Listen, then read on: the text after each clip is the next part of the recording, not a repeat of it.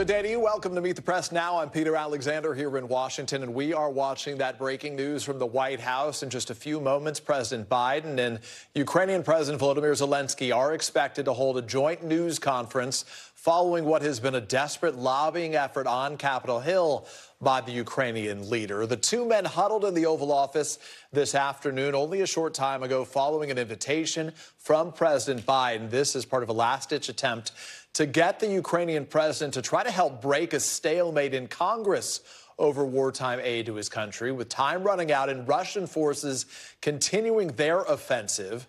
President Biden again urging Congress to pass his supplemental funding request while telling Zelensky not to lose hope. Congress needs to pass a supplemental funding for Ukraine before they break uh, the holiday recess, before they give Putin the greatest Christmas gift they could possibly give him. Mr. President, I call on Congress to do the right thing, to stand with Ukraine and to stand up for freedom. And I want to thank you for being here. You're going to help the cause, and I don't want you giving up hope. It's very important for us that we are successful.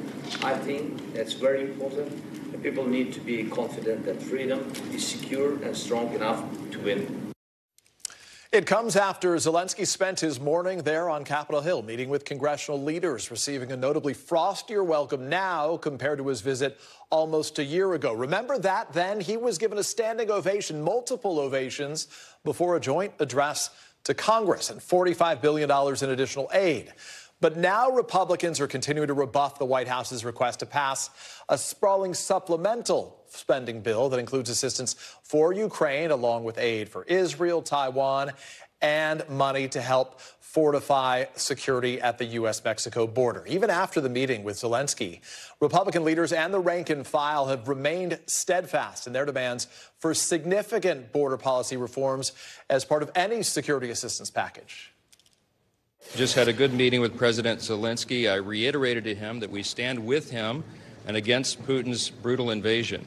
Uh, the American people stand for freedom, and they're on the right side of this fight.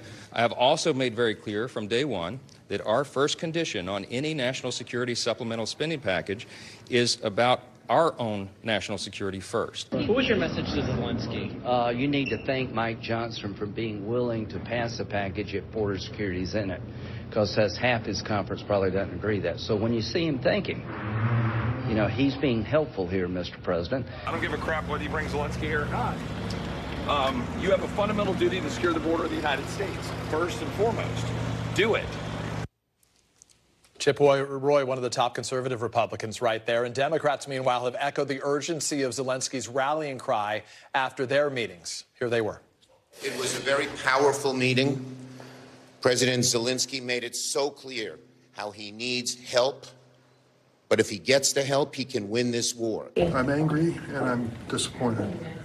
Angry that we would consider walking away from Ukraine at this moment in their history. He said if we lose, you can count on occupation by the, the Russians. You can count on guerrilla warfare to resist them, and you can count on massive migration of people out of Ukraine into Europe and beyond. Dick Durbin there. So, what comes next for President Biden and President Zelensky set to speak just a few minutes from now as both leaders warn that time is of the essence? And joining me now for this conversation, NBC senior White House correspondent Kelly O'Donnell, senior national political reporter Sahil Kapoor. He is on Capitol Hill for us. And we're also joined by Bill Taylor, the former U.S. ambassador to Ukraine and vice president for Russia and Europe at the U.S. Institute of Peace. He also notably met with President Zelensky yesterday ahead of today's high stake meetings. Kelly, I want to high stakes meetings. Kelly, I want to get to you uh, as you're at the White House right now. Again, we anticipate this will start about 10 minutes from now. But to set the table for this conversation, you and I both, we have heard the president on repeated occasions make these appeals on why this additional money is needed. But clearly, there is stiff resistance from House Republicans, Republicans in Congress in general. Mike Johnson calling for transformative change as it relates to border security says without border security, you're not going to get the Ukraine money. So, what is the backup plan for the White House right now? What is their calculation here?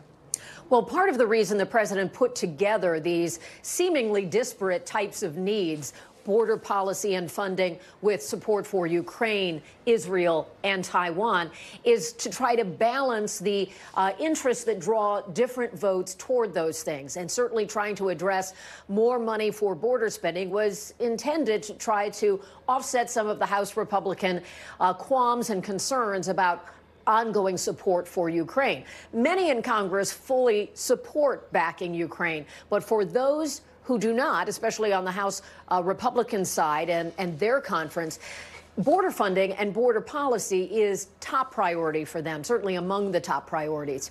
And so trying to attract them. Now, that has opened up a much more complicated process of negotiation and a wider range, not just a dollar amount, but changes in policy that could be very significant. So for the president, what might have been a tactical move to bring together differing points of view in order to get this supplemental funding passed has now exposed some of the differences in a way that is eating time when time is something that Ukraine certainly has not working in its favor with. The wintertime war theater and the uh, supply running short of critical uh, munitions and supplies and equipment.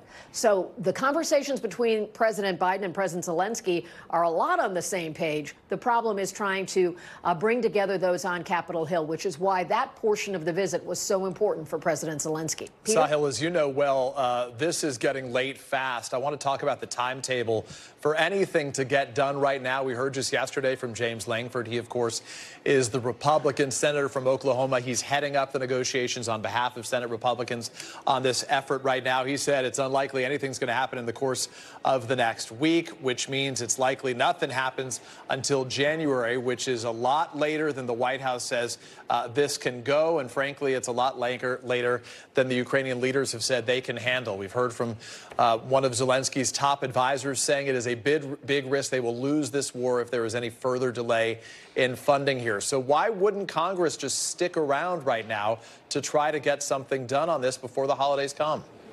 Well, the short answer, Peter, is that they're nowhere close to a deal, so sticking around would be kind of a moot point when they're not ready to vote on it. Uh, the pessimism is certainly creeping in at this point. The frustrations are growing as the clock ticks. Congress is scheduled to leave town in just two days, and uh, Senator James Lankford, the top Republican who's been negotiating uh, this deal, has been among the most optimistic members of Congress I've heard over the last few weeks. That all ended yesterday when he uh, started sounding a whole lot more pessimistic, uh, said they simply don't have time between now and, and uh, the rest of the week to, uh, to reach a deal. I did speak to James Lankford earlier today. He said negotiators will continue talking uh, even if and when Congress goes on recess. And in the event that they are close to a deal and have something written and ready to vote on, they can always come back. But they're so far away from that that it's not even part of the conversation. He weighed in on this. Several other key lawmakers weighed on, on, on this issue today. I want to play what they had to say. There's no way to get it done this week. There's no way to be able to get it done this week. Yeah. The question is, are we staying in it next week, or does this actually move into early January to be able to resolve? Last night, I got on the phone with Speaker Johnson and urged him to keep the House in session, to give a supplemental a chance to come together. If Republicans are serious about getting something done on the border, then why are so many of them in such a hurry to leave for the winter break? It is not the House's issue right now. The issue is with the White House and the Senate.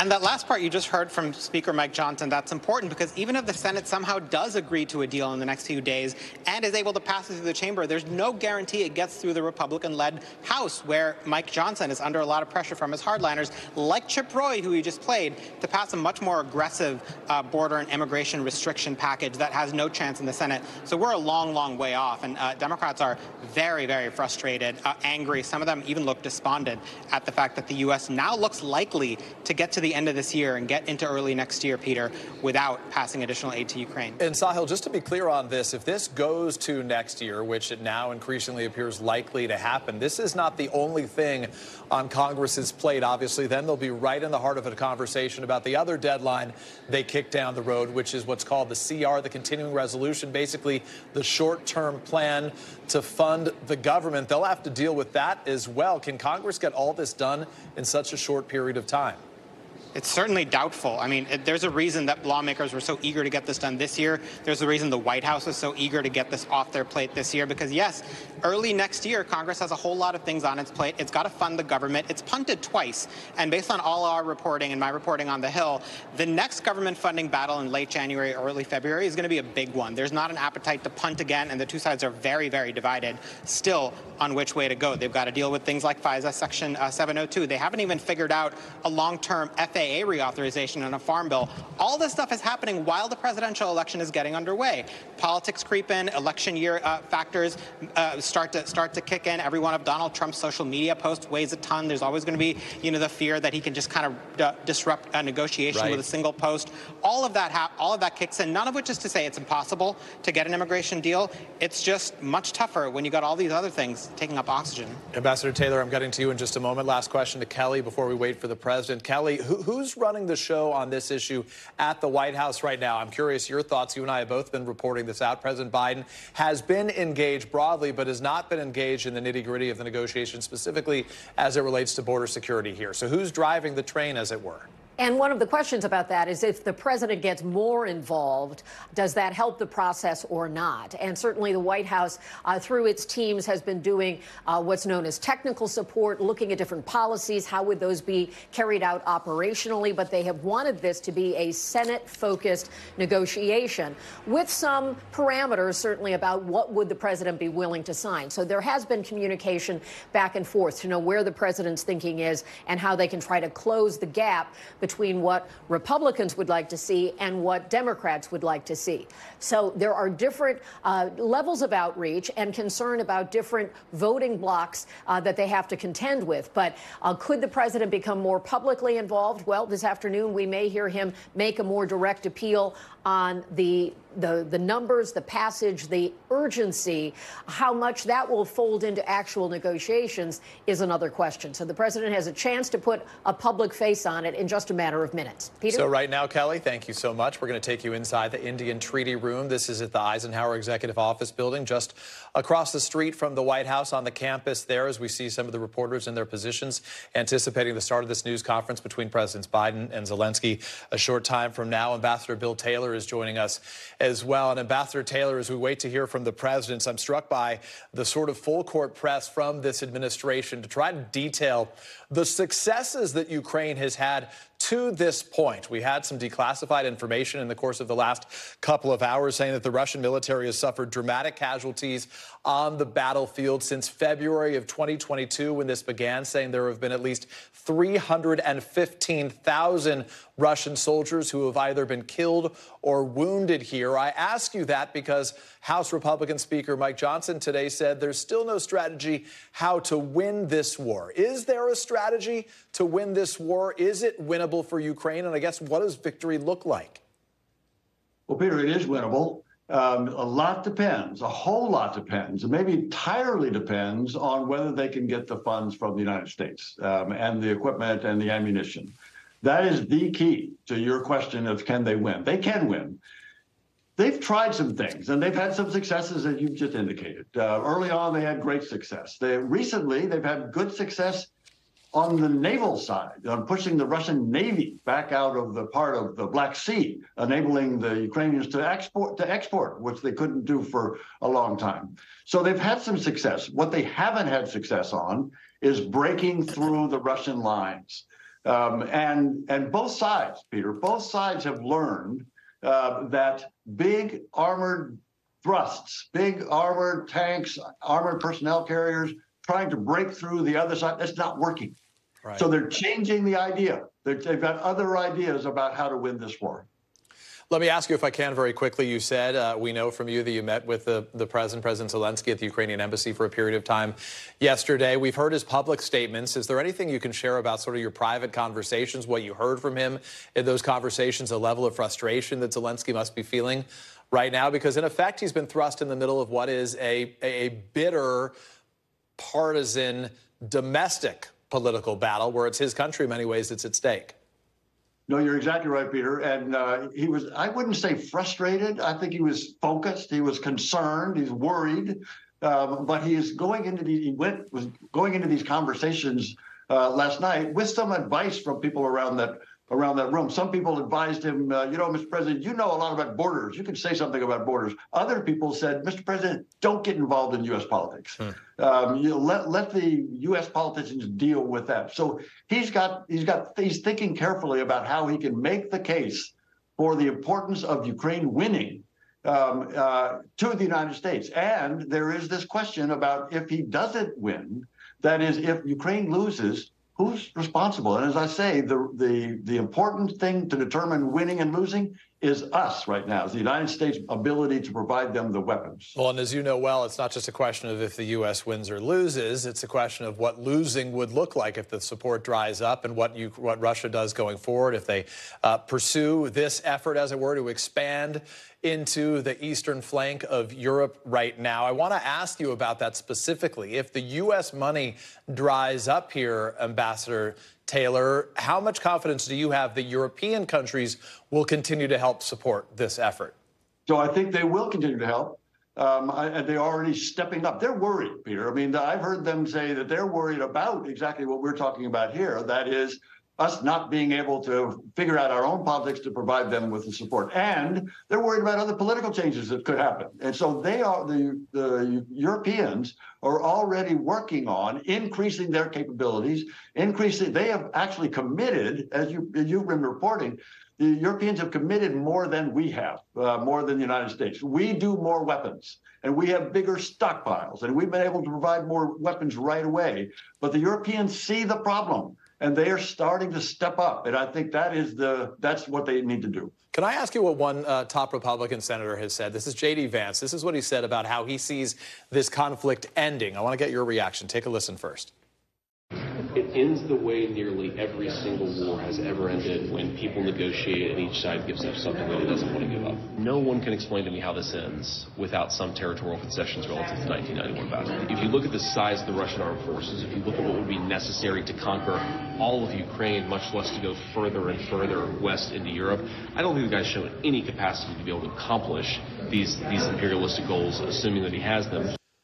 Is that how this ends? As we've heard from President Biden repeatedly, nothing about Ukraine without Ukraine, which is to say the U.S. is going to let Ukraine make decisions about its own sovereignty, basically saying, as, Volodymyr Zelensky has said, we're not giving up any land here. But do you see that as a likely scenario about the way that this could end? And would, in effect, that conclusion be satisfactory to the United States in terms of our national interests? It would not. It would not, Peter. again, if the Ukrainians lose and the Russians are able to take over uh, Ukraine and threaten NATO, then we are in jeopardy. We are vulnerable to, to that, that next conflict, uh, NATO versus Russia. And U.S. soldiers, not employed now, not engaged right now, will be engaged in that next one. So we care a lot about that. But in terms of this question about negotiation, you know, some wars end with victory. A lot of wars end with victory, one side or the other. We can right. think of several types. And, and that is what the Ukrainians are after right now. They do not want to compromise. They're not willing to give up many of their citizens who are living under Russian occupation and the atrocities that they know all too well. They're not willing to give up on those citizens. So they're they'll say no. They're not they're not ready to compromise. They'll continue to fight. Ambassador Bill Taylor, I appreciate your being with us. Thank you to Kelly and to Sahil as well. As we just mentioned, we are looking at those live pictures right now from that joint news conference. President Biden, and President Zelensky expected to get underway any moment now. We are told they'd be running on time. They're just a few minutes late. We'll keep you very posted on that and bring you there live when it happens. Those remarks should come soon. Again, coming up here, wartime visits to Washington, a broiling border crisis, and oh, by the way, a looming vote to open an impeachment inquiry into President Biden. We are digging deeper into what is shaping up to be a major week in U.S. politics, and it's only Tuesday. The panel is next. Plus, we're going to check in on the other major war occupying Washington's attention with a live report in Tel Aviv after the IDF announced that it found the bodies of two more hostages held by Hamas in Gaza. That plus new reporting about Israel's plans to flood the tunnels, Hamas's tunnels beneath Gaza. What we've learned about how that process is now underway. That's ahead. You're watching Meet the Press now.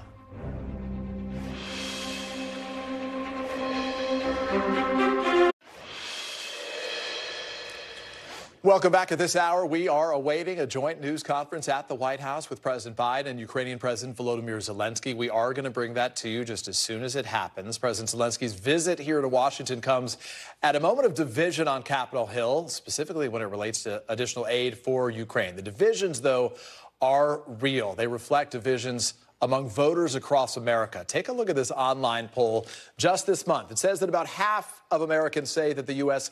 is giving too much military and financial aid to Ukraine. And note the partisan split here. See the GOP and the Dems there? More Republicans, about 65% of Republicans say that the U.S. is spending too much. Compare that to Democrats. About 32% of Democrats say that the U.S. is spending uh, too much right now. 39% say the right amount. And joining me is on set Betsy Woodruff Swan, the national correspondent for Politico, former Florida Democratic Congresswoman Stephanie Murphy, and Former Florida Republican Congressman and NBC News political analyst Carlos Curbelo is here as well. All right, guys, we're all together until, until the president speaks, so I appreciate your patience and understanding on that. Betsy, let me ask you quickly about this right now. I'm struck by that number about Republicans, the divide in this country where Republicans, about two thirds of them say that we are spending too much, the U.S. is, on Ukraine right now. So, what is the incentive for Republicans to budge on this issue? It's it's minimal, and the easiest way to predict where a Republican politician is going to come down on aid to Ukraine is how sensitive they are to the Republican base. Which is why when you look at the Senate, Many of these very powerful key senators like Mitch McConnell are really, really pro Ukraine because they just aren't that worried about the base. But if you look, of course, at House Republicans, especially this sort of new vanguard of very hard right, far right House Republicans, they're the ones that are the most critical of Ukraine, the most aggressively skeptical about continued support. And J.D. Vance, who, of course, is having his name batted around as a potential running mate to Trump in his reelection bid. The fact that he's going out and talking very openly openly and candidly about real deep skepticism about, about further Ukraine aid, there's, there's no question whatsoever that uh, that is very much Vance reflecting where the Republican base is at. So where the base is moved to is also where so many of these lawmakers are moved to. And parked comfortably in that base is Speaker Mike Johnson, of course, the new House Speaker, the Republican from Louisiana. And Congressman Curbelo, I just want your take on this right now. Clearly, the Republicans feel like they've got a pretty good hand right here, right? They feel like, hey, Americans widely are waning in terms of their support of Ukraine. We we support Ukraine, they will say, but we're going to get everything we can on border security here. Are they pushing too far on this? And where is that line? Where can they satisfy winning on both sides? Well, Peter, politically, they're not pushing too far because they need an issue for the Republican base. They need an excuse to support this package. While the Republican base may not support funding Ukraine, they certainly support stronger border security and border enforcement. So that's why Speaker Johnson, who does support Ukraine aid, is trying to nego negotiate something that will give his members a reason to support this package. I think the Biden administration is keenly aware of this as well, which is why the president said out loud a few days ago that he's open to negotiating on immigration because he knows he needs it if this package is going to get through. Congresswoman Murphy, right now, was it a mistake for the president, for the White House, to put border security and Ukraine together in this supplemental package? Because effectively, I, I I would argue, perhaps, based on conversations I've had, the White House doesn't think it could have got Ukraine passed alone. December 22nd, the last time any aid was passed to Ukraine, right? So they believe under the House Republicans leadership this never would have happened. But was this a mistake, and has it empowered the, Repu the Republicans in the House? You know, this is a technique that this White House has employed before, tying one um, very disparate bill to another. I mean, if you think about the way they got infrastructure and the Build Back Better, which eventually became the Inflation Reduction Act, all tangled up because they they tied right. them together. I think it's really hard when you tie two different subjects together because if a bill is good enough, then it should be able to pass on its own merits. And so they've got themselves in this situation, but they do need both bills to pass. The White House needs this national security supplemental pass because the president currently, based on polling, looks weak on national security, um, both foreign and domestic. And the American people care about what's going on at the border. And it's critically important for him and for the Democrats to get something done here. But it's looking like that uh, chance is really starting to fade this year. And so I just want to get your take on that, Congressman. So right now you got the Republicans are saying, hey, we're going to hold out on this. We're going to go for a little bit on this. It means we could be going into January. We've heard from the top advisor, Andrei Yermak, the top advisor, the chief of staff to President Zelensky, saying we are at a big risk of losing this war if it goes that far. Where is the disconnect for people watching this conversation among sort of the base of Republicans in this country? Why don't they worry that supporting Ukraine right now or failing to support Ukraine right now would backfire? At the end of the day, this war spreads into Eastern Europe. Those are NATO allies, and then U.S. troops are on the ground fighting this war. Well, Peter, some Republicans are worried. Uh, Chairman McCaul, chairman of the Foreign Relations Committee, as soon as the White House put out this funding package, he endorsed it because he knows how precarious the situation is for the Ukrainian military. Now, having said that, politics is all about leverage, and Republicans understand that they hold the leverage right now, and they want to push the White House as much as possible to get the best deal they can on immigration so they can go to their base and sell it to them. And also, they know immigration's a weakness for this White House, and they want that issue to be as prominent as possible. Betsy, the backdrop to this whole conversation is what is very rapidly becoming a campaign year. We're only a matter of weeks away. Iowa, not that far away from right now. Donald Trump, the prohibitive favorite on the Republican side right now. If this stuff doesn't get done soon, and then you got to deal with the short term spending plan, they got to resolve government spending pretty soon. How likely is it that anything gets done in the calendar year of 2024? We're running up against the clock, not just for Ukraine, but for our ability to function as a government broadly going forward. Uh, there's no doubt. And I think it's long been sort of an old saw that Congress can't do anything important or interesting in presidential election years, and increasingly even in midterm election years. Couple that with the fact that this is going to be one of the most tense and strange presidential election cycles, I think, in uh, modern history without debate. Uh, the likelihood that members of Congress will be able to negotiate with Biden, the likelihood that Mike Johnson and the House Republican Conference would give Biden some sort of victory just seems very, very, very low. You know, obviously, you never want to say never on these things, particularly when it comes to issues where there's broad support, like government funding. Uh, but in general, just as a matter of the laws of physics and how they operate mm-hmm. in Washington, the odds of anything big or ambitious happening in calendar year 2024 are not high. Yeah, I, I, struggled with physics in high school, but as it relates to what happens in Washington, I think all Americans get that one pretty clearly at this point. Congresswoman, I want to get to you specifically on this. We were talking about President Biden and some of the challenges he's faced as it relates to the views Americans have of him on specifically the issue of foreign policy here. On the economy, Americans are concerned. Inflation's still a real issue. On foreign policy, it's a concern. And what strikes me is that you have this president who, in many ways, his political future is hanging on by two wars, at least as foreign policy relates, where the U.S. is not a party to either of them. He has very little control about the outcome in either place. How does he turn around Americans' views of his handling of this? A lot of Democrats would say he kept NATO together. Consider where we'd be without this. You know, both the White House as well as Democrats have to do a better job communicating to the American people and answering the question that they're hearing from constituents, which is we have so many issues at home. Why are you spending money abroad? And they have yet to be able to articulate the why. And that is, I, and I think the fact that you see a third of Democrats also thinking that we're spending too much money in Ukraine as a serious warning sign for the Biden administration. So they've got to be able to lead on this, and we haven't quite seen it yet. The irony is today there was some numbers as it relates to inflation. Inflation going in the right direction. Wages now higher than inflation.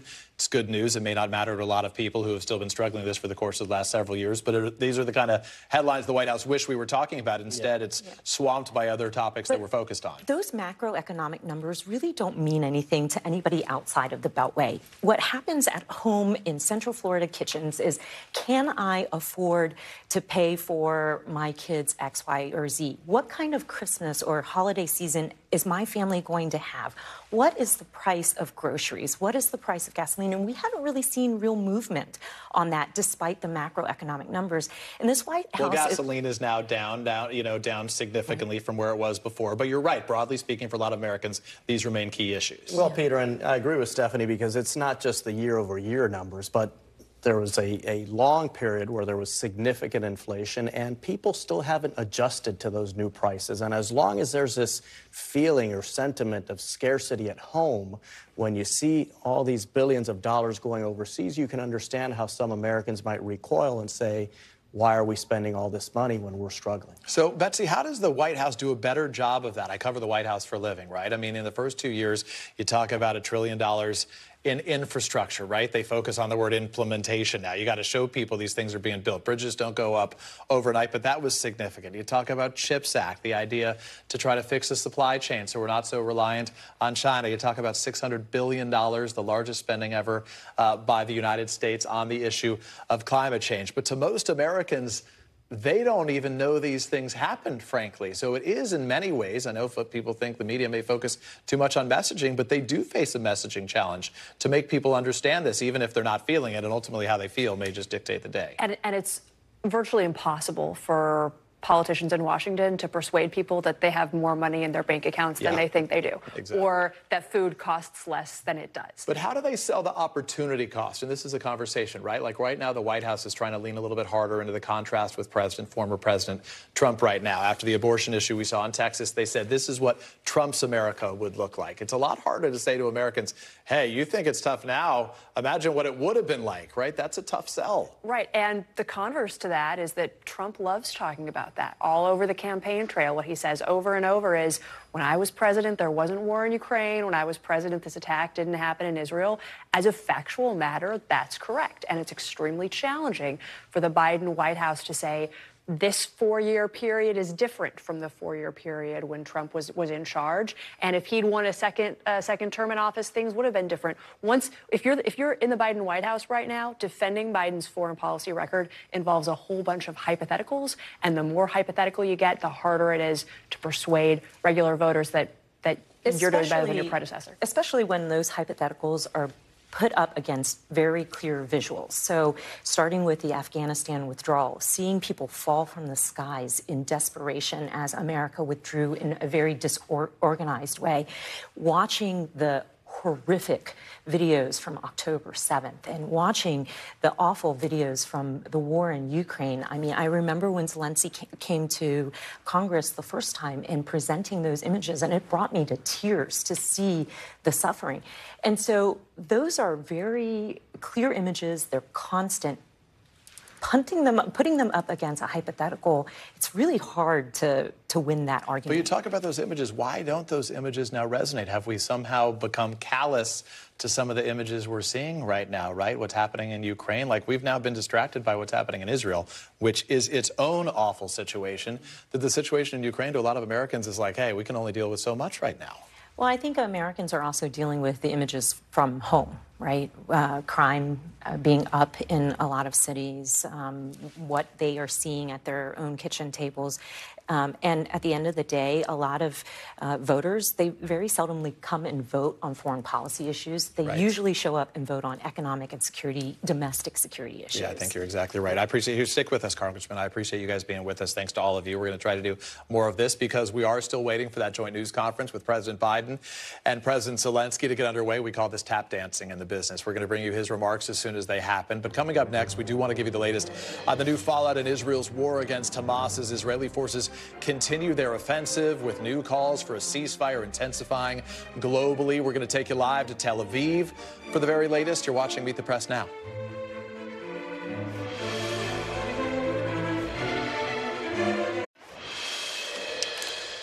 Welcome back. We are turning back now to the war between Israel and Hamas and renewed scrutiny facing Israeli forces as they continue their military assault in Gaza. Just moments ago, the United Nations voted to adopt a draft resolution calling for an immediate ceasefire in Gaza.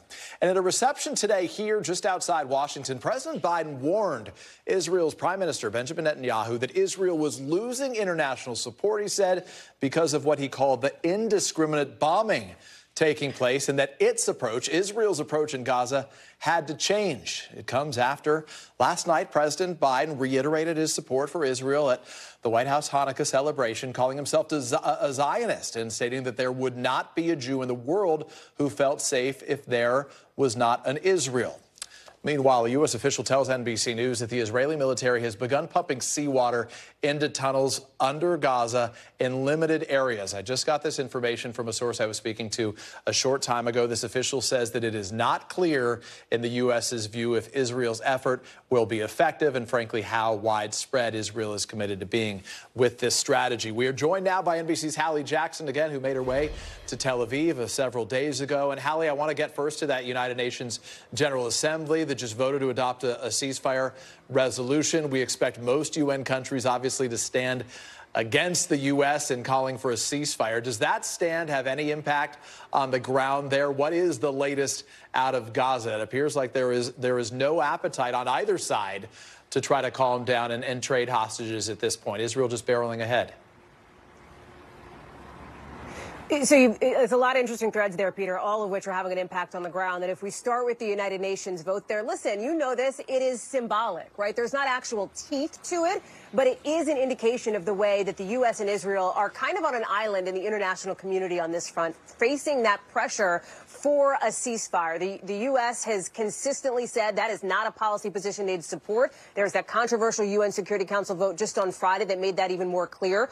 But what's also interesting here, Peter, when you look at the diplomatic front, is the way that even as the U.S. and Israel are resisting that pressure, there is daylight, there is distance right, between the U.S. and Israel on what happens after this war. You mentioned the new comments from President Biden, significant as this is the biggest gap. It's, it feels like the biggest gap between these two leaders at this level since the war began. But we've also heard here in Israel today from Prime Minister Benjamin Netanyahu, who is acknowledging that there is real disagreement with the United States, with the administration about what happens as Netanyahu put it, the day after Hamas, right? After this war is done. And that has been the question really since October 7th.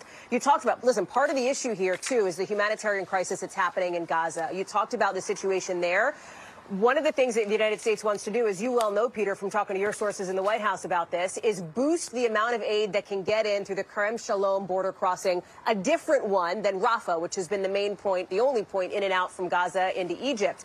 The United States, while that is open now for inspections, wants to see it go even further, right? Wants aid trucks to be able to go in and out to UN distribution sites through that crossing to accelerate the food and the water and the medicine to people who so desperately need it in Gaza. We have heard again and again, and I've talked with people here. I talked with one uh, aid leader who was just in Gaza who described people just hungry.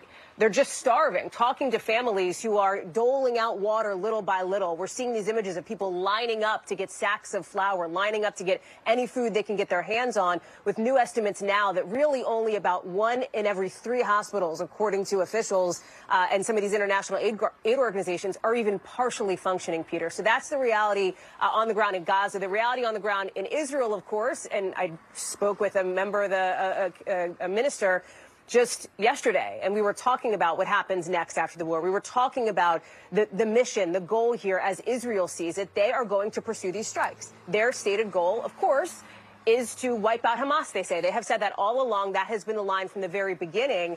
The hostage release is a question mark here because right now it feels like talks are at a standstill. There's really not much to point to that is concrete to move that forward to get some of these hostages out, even as you are seeing officials internationally say, hey, we are still pushing forward on the diplomatic front there, mm. Peter. Listen, I wouldn't be surprised as we're waiting for President Biden probably any minute. Obviously, the focus on the Ukrainian president. Wouldn't be surprised if maybe he got a question or two about what's happening here. Another war that is making headlines tonight, Peter. Yeah, I think you're exactly right. If I were in that room, I suspect, like you, one of the questions would be about the president's latest comments as they relate to Bibi Netanyahu, to the prime minister of Israel right now. We'll be watching with you, Hallie, when that begins a short time from now. Thank you so much. And after the break, the former president and his cell phone in court as special counsel Jack Smith lays out part of his trial strategy in the criminal election interference case against former President Trump. We're going to have the latest legal developments. You're watching Meet the Press now.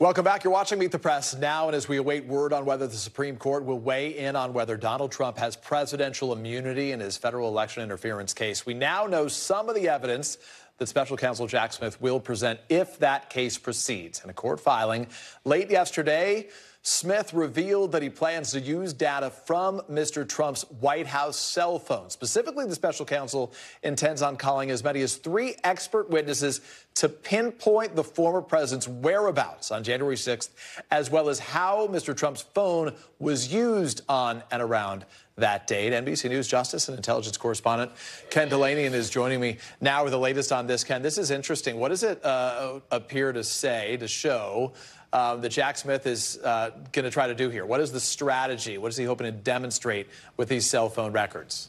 Well, first, big picture, it's a remarkable demonstration of the breadth of evidence that Smith has and the precision of the evidence. So, in this case, what he's saying is that one expert in particular is going to be able, has extracted data to show exactly how those phones, uh, the phones of, of former President Trump and another individual unnamed, were used on and around January 6th, including when it was unlocked and on the Twitter application, what messages were sent. There's also a reference to imagery on the phones. Again, a lot we don't know. It's unclear. And there are some caveats here. For example, uh, does Jack Smith have a witness that can establish that it was, in fact, Donald Trump using the phone and not Dan Scavino or some other aid? And was any of the data on the phone protected by executive privilege or encrypted or uh, inaccessible by other means? But nonetheless, it's, it's, it's got to be a pretty frightening thought uh, for anybody, really, but a, a, a defendant being prosecuted to know that the prosecution has your phone, which is often a roadmap to almost everything you're doing. So, Ken, what picture is Smith trying to paint here right now? Basically, what would location data help prove in terms of Mr. Trump's actions before and after, before and during the attack? I think the location data is less important. That's more about people moving from the ellipse uh, to the Capitol area because it's not going to tell you, for example, which room he was in in the White House. But remember when Kristen Welker asked Donald Trump on Meet the Press to account for what he was doing while the riot was unfolding on January 6th. He refused to answer. And there are a lot of gaps in our knowledge about exactly what he was doing. We have testimony from some aides who said he was watching a lot of it unfold on TV. But what I think the main thing that he, Smith is trying to accomplish here is to establish with precision and with evidence exactly what he was doing at certain times. He may not get the whole picture, but at certain times uh, of that while the riot was unfolding, who he was texting, when he was tweeting, what he was reading uh, on his phone. So that will be important evidence. So, based on what we know now, when should we anticipate this could happen, this interference, election interference case? Trials. So obviously we have these appeals going to the Supreme Court. You know, it may delay things. My money is still on a trial. It may not be March, which is the current plan, but mid mid next year. Uh, the Justice Department is doing everything it can. Jack Smith is to get this case to trial well before the November election. We'll see if they succeed. All right, Ken Dilanian, thank you for your expertise and your reporting on that. We appreciate it very much. We do want to turn now from Donald Trump's looming criminal trials to his ongoing civil fraud trial in New York, with the former president's defense resting its case today. Mr. Trump's lawyers wrapping up their case without their client testifying again as planned. NBC News correspondent Vaughn Hilliard has more on what is ahead in that trial. Right, Peter. The defense resting their case today after the New York Attorney General's prosecutor was able to ask questions of one of the defense witnesses, that being uh, an accounting professor from NYU who is called to the stand by Trump's defense team last week. It's notable that this witness uh, was paid nearly $900,000 by the Trump organization and a Trump aligned super PAC to provide his testimony. And so today on the stand, you heard from the New York Attorney General prosecutor asking this witness rebuttal questions to try to poke holes into the testimony he provided in defense of Donald Trump and the Trump organization last week. Now, there are two other witnesses who we expect to take the stand, to called by the defense here in the coming days before ultimately the trial uh, is put on hold uh, up until January 11th of 2024. That is when the two sides have been called on to present their closing arguments in front of the judge in lower Manhattan. Again, this is a, a, a situation in which we are watching the political and the legal run perpendicular to one another for Donald Trump. Of course, January 11th, when those closing arguments will be presented, is just four days before January 15th, when Donald Trump will face uh, voters for the first time in the Iowa caucuses. For Donald Trump and his defense team. Uh, they have already been ruled against on one of the claims in which the judge found uh, Donald Trump and the Trump organization to have committed uh, repeatedly fraud, but the judge will ultimately determine uh, his ruling on six other claims brought forward by the New York Attorney General's office, as well as determine the financial penalties and potentially the future of the Trump organization's uh, uh, ability to hold a business license in New York State. So there's much on the line for Donald Trump here in these closing days and ahead of those closing arguments on January 11th. Peter? Vaughn Hilliard, we appreciate your reporting there. Vaughn, thanks so much. And still to come right here, new fallout of the fight for an emergency abortion in the state of Texas. An emergency abortion there after a pregnant woman was forced to flee the state to abort her fatally ill fetus. Details on the state Supreme Court decision and the implications. That's after this break. You're watching Meet the Press now.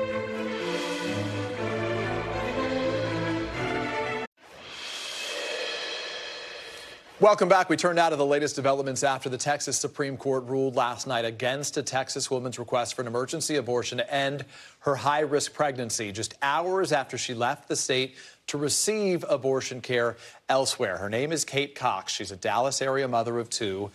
Uh, she sought and ultimately was initially granted an exception to the state's strict abortion ban after she learned that her fetus has a rare fatal condition, one that would have an impact on her future health and fertility.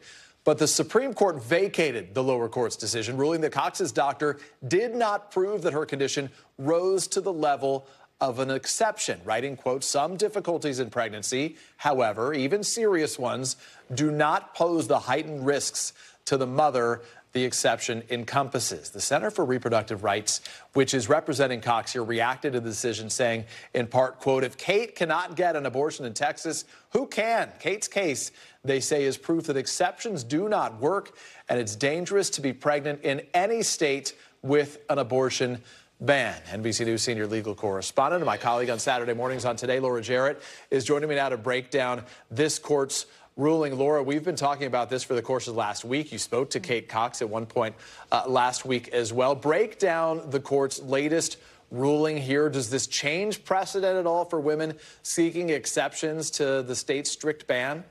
Hey, Peter. So, on the one hand, the high court here in Texas saying that the decision about whether or not uh, someone meets that medical exception is really up to the doctor. The state is saying a woman does not need to be on death's doorstep in order to qualify. That's on the uh, one hand. On the other, they're saying in the case of Kate Cox, who has in the last month been to the emergency room no less than four times, her doctor, in this case, Peter, they're saying didn't actually follow the way that the statute is written. And what the statute says is that someone has to have a life threatening physical condition. And because the doctor didn't spell it out in those words exactly, the court is saying in this case, she doesn't qualify. But they don't say in what case would someone qualify, Peter? It's remarkable how lawmakers uh, and others could sort of engage in this in this process in this way. Are doctors themselves concerned that they could face severe penalties if the state, if a state like Texas decides that they made the wrong call and ultimately goes after them? Absolutely. And I think it's part of what factored in here because remember, Kate Cox had an order in her hand that said she could get this emergency abortion from a state court judge totally authorized to do that. And yet, in spite of that court order, the Attorney General of Texas, Ken Paxton, sent a letter to three hospitals and said, if you do that procedure, you are on our watch list and you are subject to civil and criminal penalties. And I think that had a big factor in why she wasn't able to get that abortion in the intervening time between when she had a court order and when the Supreme Court put a stay on that court and, order. And to be clear, in, in all of this, Laura, I was just going to say Kate Cox is fortunate to have the resources, the means to be yes. able to go to another state, to be able to pursue the, the abortion that her doctor says she needs. There are so many uh, women in this country, many of them black and brown women in particular, who do not have the resources to do that. Specific to Cox, do we have any update on her condition today? Has she been able to receive the care that she needs? All we know is that she had to go out of state for it, Peter. We're working hard to try to follow up with her while also trying to respect her privacy and recognizing what she's been through in the last week. Uh, but I think there's more to come on this. As the group that's representing her told me, they are fielding calls from other women right now, Peter. And I want to ask you, maybe we go back and forth on this because you cover a lot of the legal side, I cover a lot of the political side, but you and I have had a lot of conversations about this. And I've been struck about the impact that this issue has had uh, as it relates to, to the voters. Nationwide, how motivated this issue, motivating this issue has been mm. nationwide. We've heard from Democrats in particular trying to put the issue of abortion access on the ballot in states like Montana, a state where the Democrat Senator the Jon Tester faces a real challenge. In the conversations you're having right now with those in around this issue, how motivated are they to sort of fight on this issue as the 2024 campaign ramps up? I think what's striking the most, Peter, is that most people don't necessarily know all the nitty gritty of the rules. They sort of loosely following the back and forth. They understand that Roe is no more. But until they're actually faced with the decision to try to seek out an abortion, like Kate Cox was, she said she was shocked to learn that she could not qualify for a medical exception. And so, as you say, I think Democrats are using this. We see Vice President Harris talking about this case today. We've seen the Biden campaign using it. We've seen uh, Governor Whitmer talking about this. And so I think you're going to hear more and more, more and more, especially as more and more cases come out. Remember, it's not the case. You usually have someone who is actively pregnant seeking a court order, as we have seen this week. Yeah, this is a remarkable case, and it's not one that's ended just yet. We're going to keep a close eye on it. I know you will, Laura. I appreciate it. We'll see you live on Saturday, on Saturday today. And we want to thank you at home for being with us this hour. Let's take you back to the Indian Treaty Room. This is at the White House right now. You can see this live picture as we prepare for both President Zelensky and President Biden uh, to join this room on the right side of the scene. And you can see in the front row some of the delegation members, including the Secretary of Defense, Lloyd Austin, there in anticipation of this to begin soon. The news continues with Tom Costello in for Hallie Jackson right now. Thanks for watching. Stay updated about breaking news and top stories on the NBC News app or follow us on social media.